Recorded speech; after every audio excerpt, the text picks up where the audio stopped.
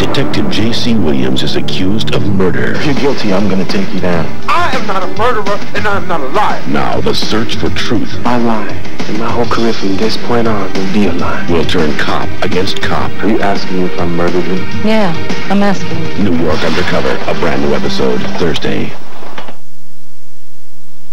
This is a Fox News update. The Clintons paid a call on Queen Elizabeth. The president is spending five days in Europe. President Bush is on the lecture tour in India. And on Wall Street, the Dow closed above 5,100 for the first time. This has been a Fox News update. Cheers, where everyone knows your name. Tonight at 11.